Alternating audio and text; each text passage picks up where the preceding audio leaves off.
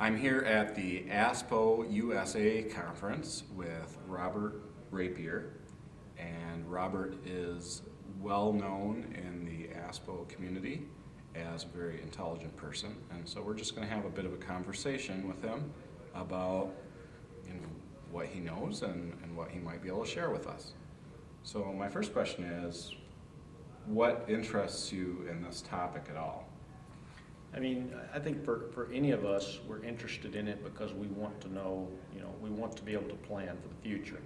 And especially for, for me with kids, this is when I became How many kids do really, you have? I've got three children. I've got a 17 year old daughter who's off to college next year, and a 15 year old son, and a 9 year old son. And when my daughter was born, uh, I was in graduate school, and I was actually working on renewable energy at that time, and that's when I started to become really interested in peak oil. So that would be, uh, you know, 17, 18 years ago that I really started, and the first time I heard of, uh, you know, Hubbert's curve and, and uh, really started looking into that. And I, I became concerned that, uh, you know, about the risk. Not that next year, you know, we're going to fall off a cliff and we're going to live in caves and, you know, some of the, some of the dire predictions, but that, uh, you know, our economy runs on oil and the global economy runs on oil and oil moves food around. And, and what's going to happen as that becomes unaffordable. And, you know, over the years, I, I uh, in 2007, I came up with this uh, hypothesis, the long recession, after Jim Kunstler's The Long Emergency, book I read, and, uh, you know, it, it alarmed me quite a bit. I said, uh, you know, oil prices historically, you know, preceded most of the recessions. High spike oil prices, you know, disposable income goes up. I mean, it goes down because they're having to spend more money on energy, and we go into recession. And as oil prices started to climb, you know, from 2000 and 2005, and they continued to go up, I said, you know, what happens if we slide into a recession? China's, of course, growing like crazy, and oil prices push us into a recession, but then it's not like it's ever been before because we don't have so much excess capacity as we had before, and we, the, the price doesn't crash and allow us to recover from recession. So I said, what happens is the long recession where you don't come out of recession easily, and, and I don't see an easy path even right now. How do we come out of recession when oil prices are still hanging around at recession-inducing levels, and yet China is still growing and they're still buying oil and they're, they're, they're going to continue consuming more oil.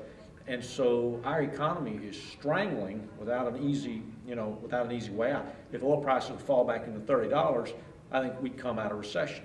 But I can't see a scenario by which that happens. In the media, many people talk about the recession being due to um, too much public debt or maybe too much private debt or a bubble in the housing market. What is your perspective on that? Certainly, I think uh, if oil prices had stayed low, I think we'd probably still go into recession. Um, I think the, the housing bubble and the, the easy credit is a very large component of the recession. But if you do the math and you say, you know, energy prices spiked up in 2008, how much did the average person have to pay for energy relative to what they were paying two years earlier? It's a fairly respectable amount. It's like, uh, so it's like a stealth tax that they got no benefit from. So, you know, I, have done the calculation before, and, and, for most families, a tax from the oil a tax owners. from from the exactly, um, and and many cases outside the country. You know, those are those are who are benefiting. And I did the calculation before and said that uh, you know the average family is paying you know a, a few hundred dollars to a few thousand dollars per year more and we're already we have no savings i mean we're already living paycheck to paycheck our savings rate is very low so I'd say even without high oil prices, we'd slip into rece uh, recession because of the housing bubble. But without the housing bubble, I think we slip into recession anyway because they, they're, more of their disposable income is gone. And when their disposable income is gone, they have less money to spend on other things. So I think the oil piece of it has not gotten enough credit. But going forward, I, I think maybe government is still baffled as to why, you know, we've not come out of this recession and not enough attention is being paid to, well, you know, I saw a statistic the other day that over 50% of the stocks that trade on the S&P 500 have energy as their number one input. Well, I mean, that explains a lot of why it's uh, very difficult to, uh, to, to come out of this recession. And, uh, you know, barring some unforeseen, you know, huge discovery, collapse in China, you know, something that really takes demand down or increases supply, I, th- I think we're in for a long, rough, difficult period here. So how does this long, rough, difficult period play out in people's lives, family, family lives? I think that, um, you know, people are, unemployment's going to continue to remain high. Um, You know, people are going to lose jobs, people are going to struggle. Um, You know, my family asked me a few years ago, they said, you know, what can we do? And I said, get very fuel efficient. Try, Like try your to brothers and minimize. sisters and, Yeah, I ha- actually had a, a kind of a meeting with the family in, like uh, you called a meeting and said. it was Christmas, and I said, I said, listen, I, I want to talk to you about something I think is important. Um, I Was said, that difficult to come to that decision to sit down with them? th- they know, they knew where I stood, but I'd never really just bluntly said, look, here's a threat, and uh, regardless of whether the threat materializes soon, if you get as energy efficient as you can and minimize the energy inputs into your life, you're going to be a lot better off. I mean, you're going to have more money and you're going to be at less risk. So, it's like I advise them, you know, get get more fuel efficient car. Anytime you can get, uh, you know, when you have to replace your hot water heater, get as fuel efficient as you possibly can. Um, and so th- that was my advice, and that's my advice to people: is be thinking about what happens to you if you have to pay twice as much for gasoline. I mean, how can you structure your life so that that doesn't impact you quite so much? And uh, so I think it's, it's going to hurt people. It's hurting people now. Um, on the one hand, it's making us become more fuel efficient. I mean, our oil consumption has dropped, I think, a million and a half barrels In the US, in the U.S. over the past, I think that's 2006 to That's what- 2010. ten percent, five percent? Yeah, it's about, it's about ten percent. It's maybe, um, I think we were using about twenty, and we're using maybe eighteen or so now. I think, I think those are roughly the correct numbers. Um, but during the same time period that ours went down one and a half million barrels, China and India alone went up two point two million barrels. So they're stealing our oil. So there, I mean, that what we saved, you know, didn't cause oil prices to crumple like it would have in the past. You know, most cases, when the recession comes, our demand goes down, and we were the largest uh, consumer of oil in the world, and so that affected global prices, and not this time. I mean, we did go to $147 and it pulled back from that, but, you know, uh, we're still $80, $90 oil. Historically, that's a horror story for the economy. So you have three children. How do you talk to them about the future? Yeah, normally, you know, it, it's difficult because uh, kids don't aren't thinking about this. I mean, when I'm this age, I'm not thinking about this. Um, you know, it's there, there's a disconnect. I see this, you know, with my daughter sometimes, who thinks uh, She's seventeen. she's 17 and she would consider herself an environmentalist, and all her friends are considered consider themselves environmentalists. And you know, you ask them, they'll say down with oil and so forth and so on.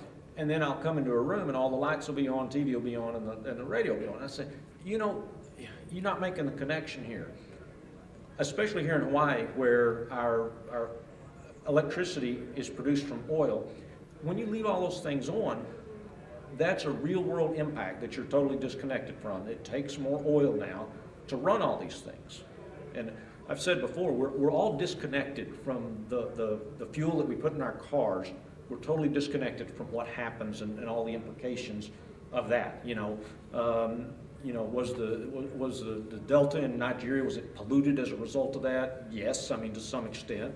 Um, you know, the BP blowout, we're all responsible for that to some extent uh, because it's our demand that causes them to go out and, and do these things. So, yeah, but with kids, you know, I go up and I talk to the schools sometimes, and, and you can see that they get it, but it's gone pretty quickly. I mean, energy is not their problem, it's their parents' problem until they're out in the world and they're actually having to pay for it and I think secure it. But I think that's why most of us do what we do, because we look at our kids and we think, we don't want our li- their lives to be harder than our lives were. And I wonder sometimes if that won't be the case, that um, we're consuming their resources, um, we're, we're, we're putting them deeply in debt, and I think it's grossly unfair what we're doing to the kids. And uh, that's one of the main reasons that I do what I do. So like I said, when my daughter was born, that's when I really started thinking about the future and the world and uh, the world she was going to inherit. And I said, you know, I've got to do something. I've got to, and, and I started writing after I read The Long Emergency. I said, you know what? I cannot, I, I cannot allow a world like this to happen. This is horrible. Um, you know, the, the, the world that Jim describes, you think, I never want to see that happen. You never want to see, you know, people starving to death or freezing to death, and you say, I'll do whatever I can to make sure that doesn't happen. And that's why we get together for things like this. You know, there's a hope that if we beat the podium and we talk enough, we can move policies in a more sustainable direction. You write primarily and publish to the Oil Drum, is that right? Um, I, I've got a blog called R Squared, and, and I put up like two articles a week maybe. I occasionally publish at the Oil Drum. I used to publish a lot more at the Oil Drum. Um, I write, and, you know, sometimes I, I, I've written, you know, four blogs a day, and so for the Oil Drum, that's no good. There's a lot of Yeah. authors there. So my blog is my more creative outlet where if I want to write four things a day, I'll, I'll write four things a day there. Is it typically about oil, or what are you writing about? It's, it's energy in general. Um, sometimes it's about oil, sometimes it's about alternative energy. Uh, occasionally, I will dip my toe into climate change, although that debate is just so bitter and so, uh, you know, divisive. I normally just stay out of that. You know, I did mention in my presentation yesterday, people don't like it to see, you know, in fact, in the last 10 years, carbon emissions in the United States and in the European Union have declined, and they've skyrocketed uh, in, in uh, Asia Pacific. And as I'm, I'm writing a book right now, it should come out sometime next year, and I just wrote the chapter on climate change, and I, I, I backed out. I said, what if the U.S. and EU emissions went to zero? It would only take us back to 1994 levels of emissions, and they would still be rapidly increasing. So my conclusion is, I don't see a viable way to rein in global carbon emissions. And, uh, you know, I can tell that to people, and they say, well, you're saying we should just give up. And I said, no, I'm not saying that. I'm, I'm just making an observation. Um, I would never suggest that we give up. Um, I continue to, I, I devote my efforts to energy, which indirectly affects the, uh, the carbon dioxide. Um, but that's a global problem, and I can't really control what China uses. I can't control what India uses. And because they use so little oil relative to us, two barrels per person in China, 23 for us, I can only see them growing and continuing to put pressure on oil prices, and they're, they're continuing to build coal-fired power plants, so I think their emissions will continue to grow. So how does one, um, how does one address the climate change problem then, if you can't do it at home? I, I think um, that's really a difficult, I, I don't see a, an effective way to address it because of the global nature of the problem. Jeff Rubin made a suggestion. He said, uh, if you put carbon tariffs on countries like China, where they produce GDP much less efficiently than we do, then you can start to incentivize them to become more energy efficient. But still, the people there, they want a higher quality of life. People in India want a better standard of living. It's hard to see how they actually go down, you know, in, in energy consumption. You know, a lot of people make the point that China has invested a lot of money into renewable energy, and that's true. But they're also investing, you know, heavily into coal, and they're investing in they're investing in everything. So while their renewable energy uh, total production goes up, their overall carbon emissions do too, because they're they're investing in every sector. What is, uh, what is your most positive hope for the future? Realistic, though. Yeah, that, see, that's the problem. That was, uh, one of my slides is the idealistic future versus what I think is going to happen. Uh, You know, I think we will end up burning up all the carbon that we can burn up. I think everything that we can get our hands on, we're gonna, we're gonna burn it up. So I think realistically, you know, the tipping point that they talk about in the atmosphere, at 450 ppm, I, I think we reach that. My, my best hope is that the, uh, the consequences of that are not as severe as some people project. That's my hope. Um, I, I acknowledge it is a very serious threat. Um, I understand why there's a, why there's a greenhouse effect. I understand that CO2 going up should cause the global temperature to go up. I just hope we don't get into the sort of runaway situation that some people have predicted. So that's my best hope. Um, I think oil prices, as, as they're high, they're hurting people, but they're also forcing people to move to more sustainable uh, uh, living, to reduce their energy consumption. More people ride the bus, more people take mass transit. So it encourages a lot of the things that, uh, that we need to do in the long term. All right, well, thank you very much for talking to us today. You bet?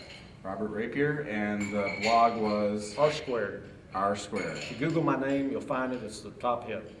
All right, well, thank you very much for joining us again today, and see you next time.